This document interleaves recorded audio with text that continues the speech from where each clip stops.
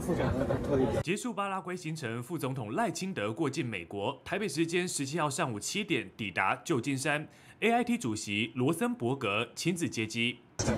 So wonderful to see you. Welcome to San Francisco. 两人握手寒暄。上回因为家有喜事无法接机的罗森伯格，这回展现诚意上机迎接。驻美代表肖美琴也陪在一旁，随后一同前往乔宴会场。只是途中又有人高举五星旗抗议，台独，反对台独。有人抗议，但更多的是来迎接赖金德。会场外满满支持群众高喊加油，而场内七百名侨胞早已等不及。啊，我们副总统马上就会到哈，因为外面太多人了挡住。大家高举手机记录这历史性一刻，赖清德大进场。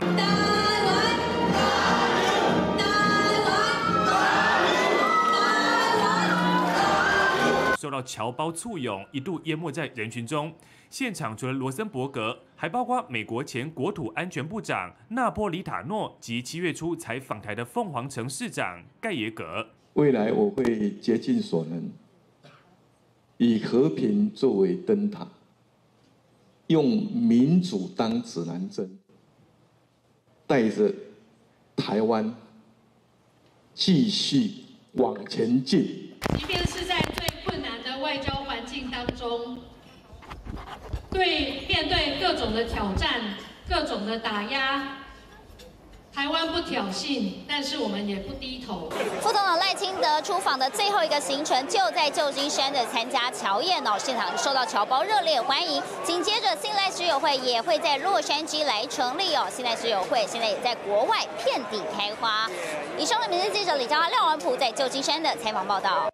好，我们看到赖清德副总统已经抵达旧金山了哈。不过在赖清德出访的过程当中，哎，玉慧姐，我们发现最近啊有很多这个假消息不断的在传播，包括有网友匿名散播了说什么赖清德哦去参加这个巴拉圭的这个总统就职典礼，跟人家签了哇百亿住宅的合约啦。哎，这些通通都是假讯息，但是还是有人一直在传呢。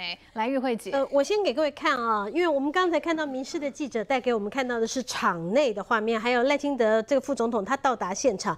我们看到这个是另外一个媒体叫台湾 Plus 啊，那他们所拍的场外的这个画面，赖清德副总统还没有到现场的时候，你看到有多少的民众？那他们就在外面，这个非常非常开心的，这是要欢迎的。对对对，要欢迎的一个现场。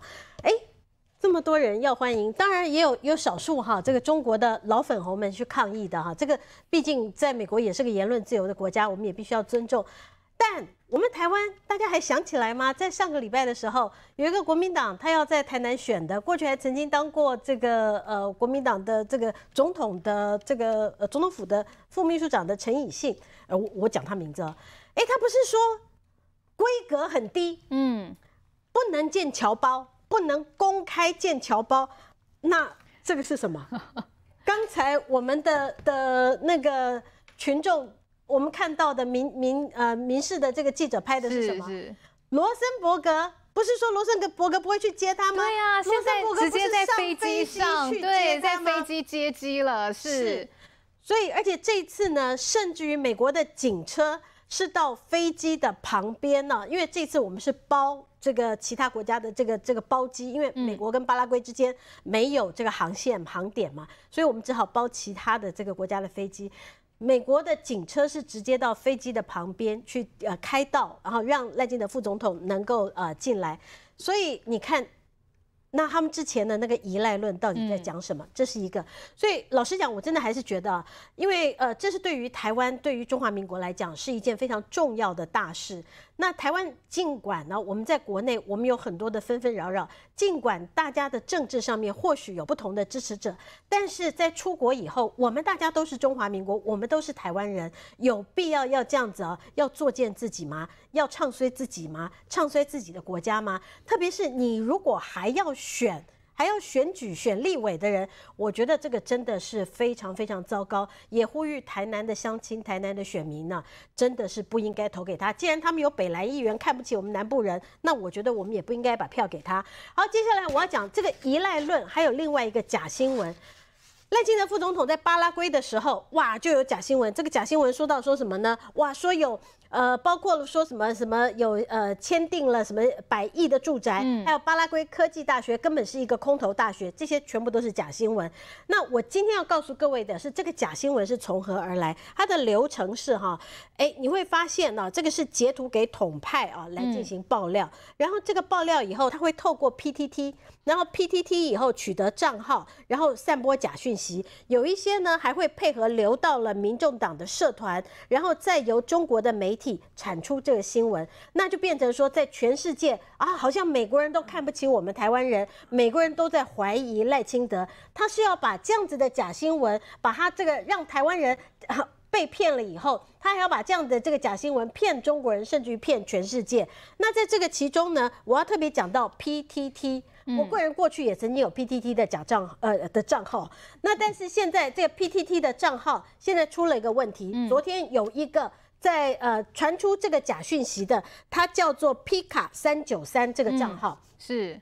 这个账号呢，经过四叉猫它的追查，它上一次发文应该差不多是五年多前，嗯，而这支账号它多半都是出现在动漫宅，它是本身是一个动漫宅，过去都是长期发。跟动漫相关的文章，这是第一次他发跟政治相关的文章，就发这样子的假新闻。后来四叉猫私讯去问他，哎，你去看一下你的账号是不是被盗了？结果呃被盗的话，你要赶快去报案。就后来他发现他果然被盗。那被盗了以后，他也去报案，也拿了报案单。但我要跟各位讲的，他这个报案啊，他这个被害的一个方式，他呃是用 NAS，它是一种骇客入侵的方式。你要找到那个源头，你要把它抓出来，这个其实很困难。嗯，这个事实上很可能是中国他们的网络攻击啊所进行的。是。那所以这个提醒，现在如果你呃手上有 PTT 的账号。很久很久没用的话，嗯，你回过头去看一下你的账密哦，它的账密其实都没有被更改，但是就被别人使用了。所以你如果很长时间没有没有使用你的 PTT 账号，请你先哦，这个要么就是注销，再不然的话，如果一旦是被骇客入侵的话，你要赶快去报案，来确保你自己的这个网络上面使用的安全。然后也要提醒大家，像那个民众党，四季线上精彩戏剧，通通免费看。